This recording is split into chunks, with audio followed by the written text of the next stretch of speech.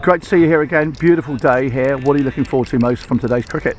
Um, just enjoying the good weather, having a bit of fun, and obviously enjoying finals day. Um, it hasn't been like this for for a few weeks, so we're just going to enjoy the day. And very competitive to get here in the first place. You've been through a lot of cricket yourselves in the last few years. What sort of how does this event now stand with you within the overall NCCA cricket? I think it's probably the marquee event to be honest. There's a lot of pros playing, there's a lot of guys playing that play at a very high level. Um, everyone wants to be involved in T20 cricket, so I'd say it's probably the marquee event of the summer. Good luck today. Thank you.